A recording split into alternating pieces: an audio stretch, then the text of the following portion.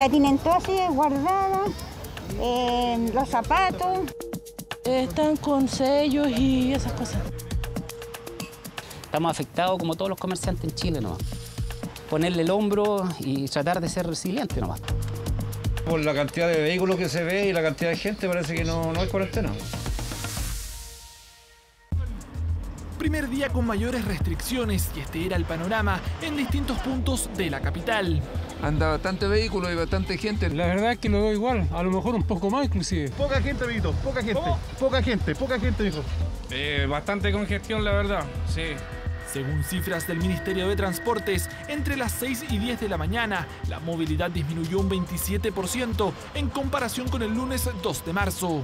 Vemos que el efecto no es tan fuerte como lo que observamos el fin de semana. Todavía queda una posibilidad de mejora. Sin embargo, vemos una caída importante, así que creemos que esa combinación entre el confinamiento y la gestión de permisos es la medida adecuada.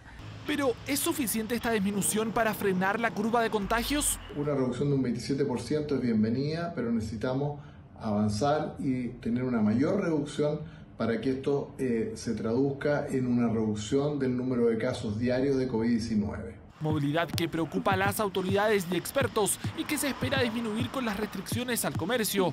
Hoy el barrio Patronato lucía con el total de sus cortinas abajo.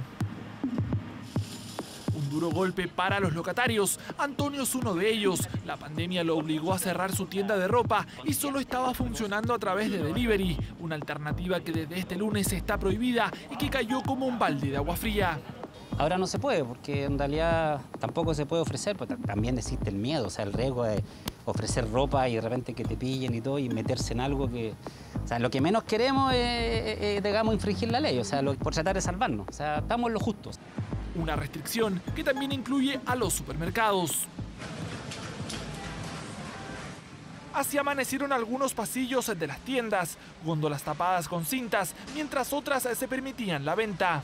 Se puede comprar refrigeradores, creo, eh, cocina, que el resto no. No, no hay tipo de restricción.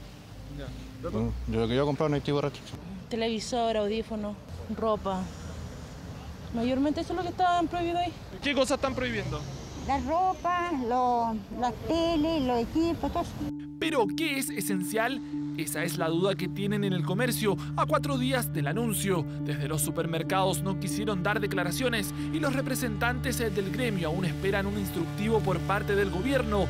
Una medida que sigue sin dejar a todos conformes, sobre todo a las pequeñas y medianas empresas que acusan discriminación. Creemos que se tiene que dar un permiso especial para los emprendedores y para las micro y pequeñas empresas para poder funcionar de manera de que no se terminen perdiendo los puestos de trabajo y estas pymes no terminen quebrando una primera jornada de restricciones al comercio a la que se espera una menor movilidad en los próximos días para de esa forma comenzar a hacer frente a una pandemia que no ha dado tregua.